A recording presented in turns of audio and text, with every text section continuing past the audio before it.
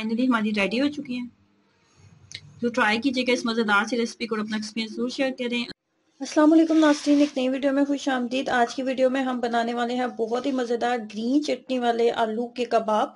बहुत कमाल के बनते हैं। अगर आलू के कबाब खाने में आपको बहुत पसंद है तो इस रेसिपी को ज़रूर ट्राई कीजिएगा। आलू को मैंने सिंपल बॉईल किया। बॉईल करने के बाद ना हमने इसको इस तरीके से मैशर का इस्तेमाल कर लें या फिर आप कोई भी ग्रेटर का इस्तेमाल करके इसको अच्छे से कद्दूकश कर लें। और ये देखें जी फाइन हो चुके हैं और इसकी मकदार जो है ना आधा किलो है।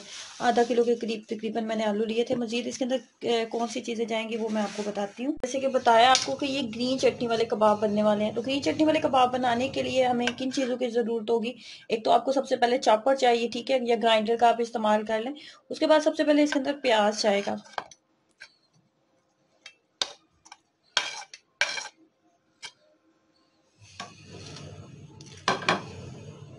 उसके बाद मसाले मैं आपको बता दूँ तो सब्ज़ मिर्चें सब्ज़ मिर्चें एक अदद दरमियाने साइज़ की एक सब्ज़ मिर्च थी, बड़ी कट कर लिया है, नमक डालने वाली हूँ। चाट मसाला इसके अंदर जाएगा, ठीक है? चाट मसाला जाएगा, उसके बाद इसके अंदर काली मिर्चें जाएँगी, ठीक है? चाट मसाला, काली मिर्चें, उसके बाद साबत धनिया, और उसके बाद ज़ीरा, ठीक है?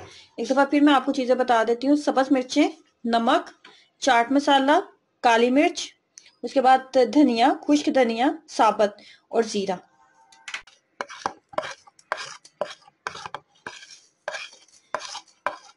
अगर गर्मियों का सीज़न हो ना तो इसके अंदर कच्चा आम भी डाला जाता है, जिससे बहुत ही मज़े का फ्लेवर होता है। अगर आप गर्मी में ट्राई कर रहे हैं ना तो आप इसके अंदर वो जो केरी होती है ना, कच्चा आम होता है, वो भी आप इसके अंदर डाल सकते हैं। लेकिन मेरे पास आजकल जैसे कि सर्दी का सीज़न है तो केरी तो नहीं मिलने वाली तो हम इसको ऐसे ही बनाएँगे। अब मजीद इसके अंदर डालने वाली हूँ धनिया धनिया डालूँगी और पुदीना डालेंगे हम।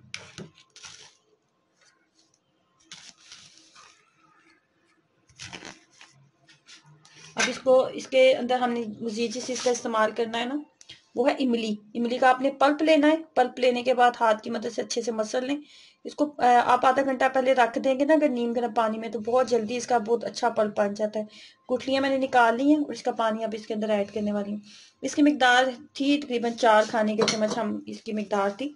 तो यहाँ पे इसको अच्छे से ग्राइंड कर लेते हैं। अगर आपके पास इमली नहीं है तो आप इसके अंदर दही का इस्तेमाल भी कर सकते हो। ये देखें जी, चटनी हमारी हो चुकी है रेडी। और इसके साथ हम बनाने वाले हैं कबाब।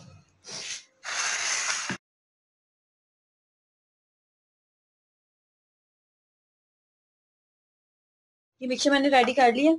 इसके बाद जी आते हैं, इसकी कोटिंग की बारी आती है। तो कोटिंग हमने किस तरीके से करनी है? कोटिंग बनाने के लिए सबसे पहले लेंगे बेसन।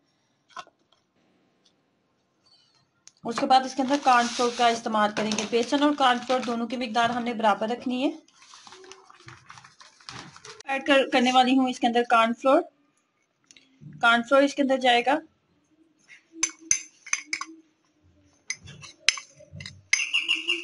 कोटिंग में मसाले जाएँगे लाल मिर्च पाउडर अजवाइन हम इसके अंदर डालेंगे ठीक है? और इसके बाद नमक जाएगा। तीन मसाले हम इसके अंदर डालेंगे।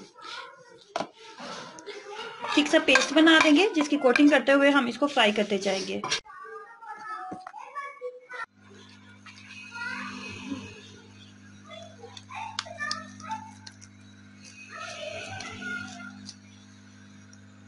हाथों के ऊपर थोड़ा सा कुकिंग ऑयल लगा के बनाएँगे तो बहुत कमाल की बनेगी।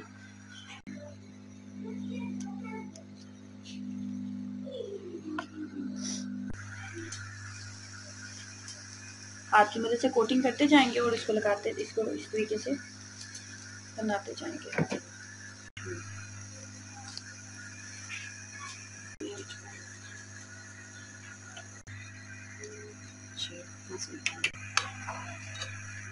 एकदम से आपने इसको टर्न नहीं करना, वरना बेसन जो है वो उतर जाएगा। पहले इसको पाँच मिनट अच्छे से कुक होने देंगे।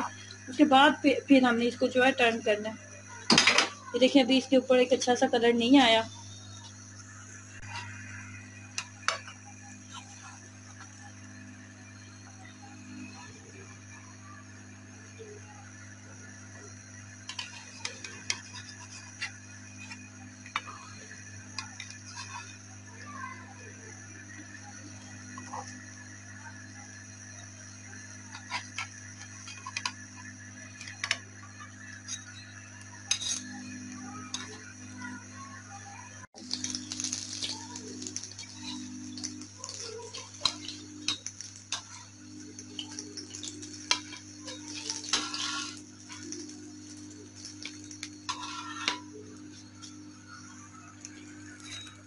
तरीके से मज़ेदार हमारी आलू, बेसन और चटनी वाली कबाब जो है तैयार हो चुकी ये देखें मैं अब आपको तोड़ के दिखाती हूँ। सारी मैंने बना ली है।